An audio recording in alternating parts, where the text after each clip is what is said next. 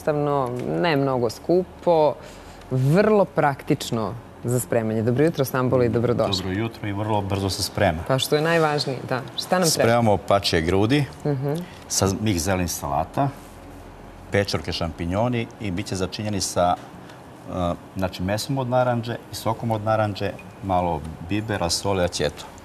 Pačetina, znači imamo pače grudi, malo je samo posolimo, pobiberimo. Evo ja sam zasekao koža gde je i ta strana ide u tiganj.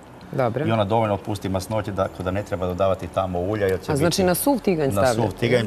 Jest da je malo marinirano ulja, znači ne treba ovdje sipati. I onda okrenete, sprema se polu živa, znači ne peče se do kraja, će onda biti suva, znači malte ne English.